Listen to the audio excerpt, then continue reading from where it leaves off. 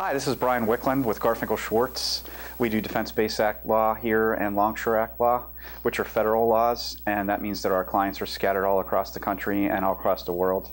We mention on our website that uh, we do come to you and we meet you in person uh, whenever we get a chance to, and we'll always be there for depositions and, and major major times that your case has to be adjudicated.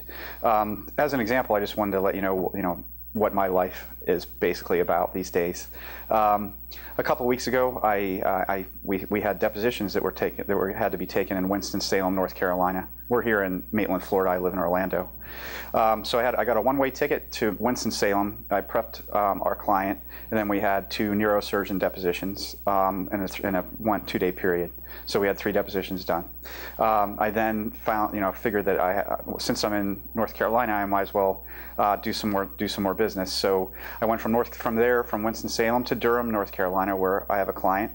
Uh, we got to meet in person, and uh, I kind of prepared him for his independent medical exam that was coming up.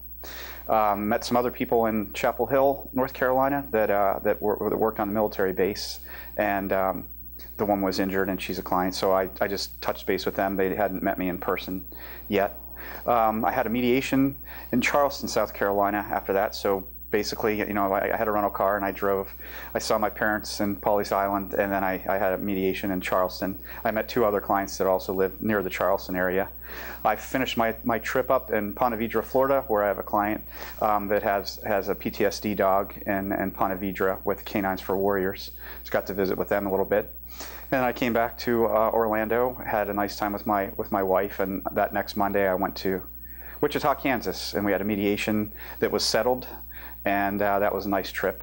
And so I got back, and yesterday I had a trial in Orlando, which is a formal hearing with the federal judge in the federal courthouse. Uh, I'm very happy and relieved that um, holidays are coming up and I have some time to relax. Um, middle December, I'll be going to back to back to Charleston for mediation, and then to uh, Waco, Texas, and Austin, Texas, to visit with three other clients, um, basically for depositions and for a mediation. So then I'll be back home and uh, can't wait what's in store for the new year. Um, thanks for listening to me ramble. I appreciate it. Again, my name is Brian with Garfinkel Schwartz. I'm here to help you wherever you may be. Thanks. Take care.